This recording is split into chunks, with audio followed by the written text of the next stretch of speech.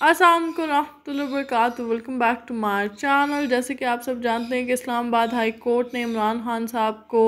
एक लाख के मुचलकों पर रिहा होने का हुक्म दिया था, मगर इमरान खान साहब को रिहा करते ही पुलिस ने साइफर केस में इमरान खान साहब को गिरफ़्तार कर लिया है और स्पेशल कोर्ट ने इमरान खान को 30 अगस्त तक जुडिशल रिमांड पर भेजा है। और कल इमरान खान साहब जुडिशल कॉम्प्लेक्स इस्लामाबाद में पेश होंगे क्योंकि स्पेशल कोर्ट ने इमरान खान साहब को साइफर केस में तलब किया है। तो आज के लिए इतनी शाह तंजीर खबर के लिए मैं लाइक करें सब्सक्राइब करें लाभ नासर।